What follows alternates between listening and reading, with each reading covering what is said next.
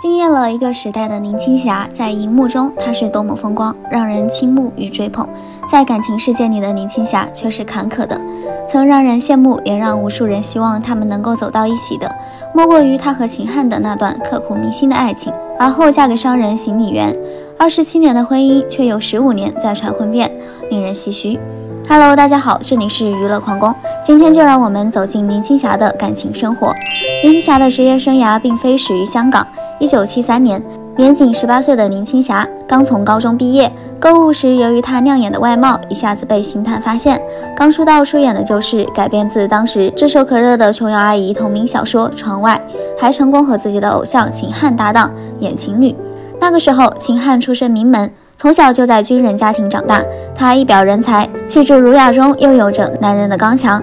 在林青霞刚刚踏入演艺圈的时候，他就已经是无数少女的梦中情人，而林青霞也是没能按捺住一颗为他跳动的心，无法自拔，爱上了他。你看我第一次看到你在你在什么地方？你唔講廣東話啦？講講講講講啊！第一第一次見到你，你估喺邊度咧？喺邊度啊？七色橋。七色橋啊！七色橋啊！啊嚇！嗰陣時咧，我我七色橋我喺度演電視嘅時候啦。係啊！你好好咩啊？好咩？你好唔識做戲啊？又啊做得好渣。不過呢個型咧就好似我誒誒到中學嘅時候，成日喺諗個白馬王子個樣。林青霞曾回忆說：“從那時候起，我的一輩子就陷下去了。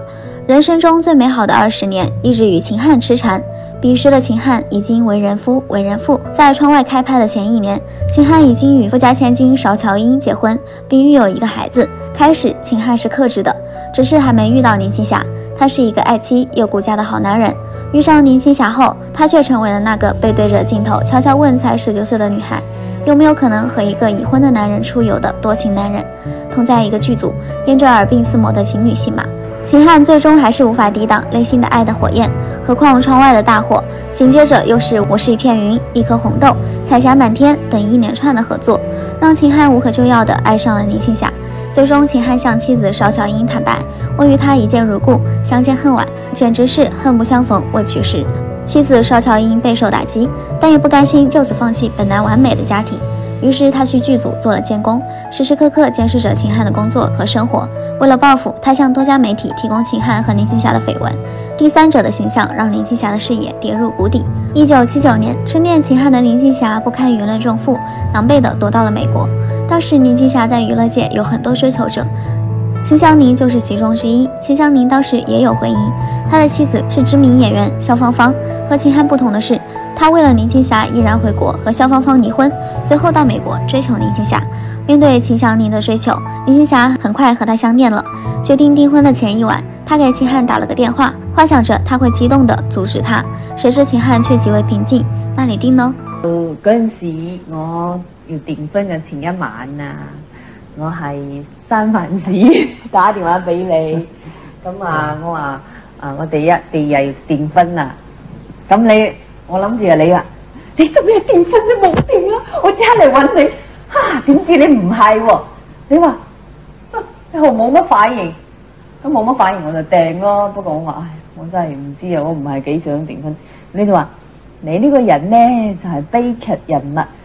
悲剧人物就係悲剧人生，悲剧人生就系悲剧。带着賭氣般的心情，林青霞与秦祥林结下了婚约，然而却拗不过自己的内心。一九八二年。与邵乔英纠缠许久的秦汉，终于变成了黄金单身漢。遲遲沒有和秦祥林结婚的林青霞，也结束了一开始就注定没有结果的婚约。第二年，琼瑶从中做了牵线人，给秦汉打了一通电话：“现在青霞是一个人了，你为何不给他打个电话？就这样，一对分分合合十一年的爱侣，終於能在日光下牵手，坦然承認相愛。這段時間是他們最幸福的日子。林青霞日日咧着嘴笑，参加節目還靠在秦漢身上。愛情順利的同時，林青霞的事业也蒸蒸日上，但她卻始終沒能等待秦漢的一句“嫁給我吧”。在一檔節目中，倪匡、蔡瀾等人聊起此事，都告訴林青霞，這個男人真的不是很好。倪匡也說，真的一般般。係秦漢姓孫噶，係孫將軍嘅仔。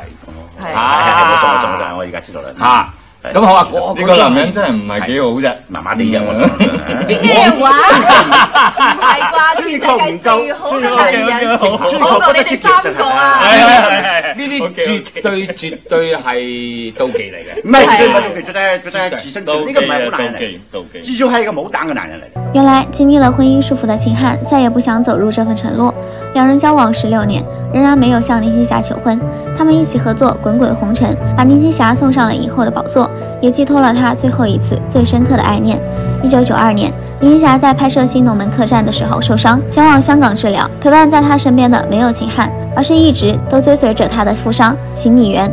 那一刻，她彻底心寒，她明白了，她永远等不来和秦汉的一个家。这段感情终于走到了末路。在最后的分手现场，林青霞一脸的失落，秦汉伤心的跪在地上，苦苦哀求林青霞不要离开自己。林青霞只是说，即使曾经的我很爱你，但是我依然要和你分手。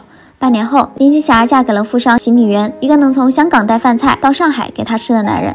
这种无微不至的体贴，让漂泊了许久的林青霞感到了安全。他们的婚礼极尽奢华，也处处贴心，顶级的礼服遍地的香槟色玫瑰，甚至还有金庸先生亲笔写的喜年。林青霞终于放下了与秦汉的痴缠，走进了崭新的生活。然而，这个新生活又是否真的给了她一个终身停靠的港湾呢？其实，邢米元在与林青霞相遇之前就已经结过一次婚了，对方叫张天爱，和现在娱乐圈里的张天爱同名。她是个很励志的女生，为了给母亲冲喜草率结婚，嫁给一个外国人，不到两年就离婚了。行李员不嫌弃她是二婚，与她步入了婚姻的殿堂，并且生下了一个女儿。不过行李员想要的是一个听话顾家的妻子，张天爱却热衷于事业，这也成了他们矛盾的根本。最终，两人在女儿两岁的时候离婚了。离婚后，女儿归行李员抚养，他一边做生意，一边照顾年幼的孩子。行李员和林青霞第一次见面是在施南生的生日酒会上，行李员很主动地去和林青霞打招呼。得知昔日女神恢復單身后，行李员高兴了半宿，转个天就开始追求林青霞，各种鲜花、定制礼服，补品等，应有尽有。这种无微不至的照顾和秦汉相比，谁更真心一目了然。因此，二人很快结婚。一个横扫两三地的绝世美女，却嫁给其貌不扬、龅牙而且二婚的富商。婚的一开始就有不好的传言，称林青霞是为了钱。诚然，邢米元為追求林青霞付出不少，但婚后林青霞也全力支持邢李媛的事业，常常为丈夫的服装品牌站台，几乎成了半个品牌代言人。在林青霞的帮助下，邢李媛的生意越做越大，后来成功上市，一度成为了全球最成功的快时尚品牌之一，市值高达一千八百亿，成为了全球最大的服装巨头之一。后来高位套现两百多亿，辞掉公司管理职位。林青霞也为他生了两个女儿。为了表达自己对林青霞的爱，两个女儿取名为邢愛寧、邢妍爱。邢愛寧的意思比较好理解，邢爱爱在粤语中是仍然爱的意思。在林青霞六十岁生日时，邢米元豪掷十六亿为林青霞盖了一座皇宫，作为生日礼物送给她。就在众人都以为女神生活幸福美满时，接着却突然爆出一颗炸弹。二零一八年，六十四岁的林青霞离婚的消息冲上热搜。知情人士透露，林青霞无法忍受丈夫在外有新欢，已经结束了这段二十四年的婚姻，花了二十亿港币赡养费，引起了巨大舆论轰动。据邢米元老家的一个朋友爆料。邢米元曾在老家捐了钱修了族谱，很多年前回老家时候还带着私生子祭祖，一点也不避讳。网友感慨：林青霞蛮惨的，全世界都知道她老公外遇有私生子。说起来，林青霞丈夫有私生子的传闻确实传了很多年。